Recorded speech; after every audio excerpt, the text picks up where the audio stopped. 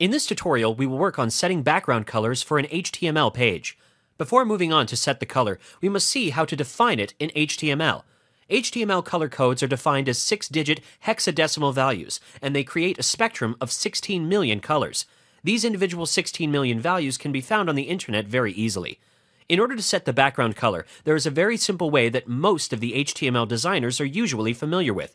That is the attribute BG color in the body element. The BG color attribute takes a color code value and changes background of the HTML page to that color.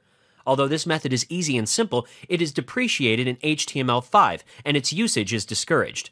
With the rise of CSS, all styling is done through style sheets. CSS introduced a style attribute in all the elements of HTML, including the body element. And like all other styling, background colors can also be declared in this attribute. The background color tag takes the same hexadecimal color code as value, and it results in change the background of the HTML page. That is all about setting background color in HTML.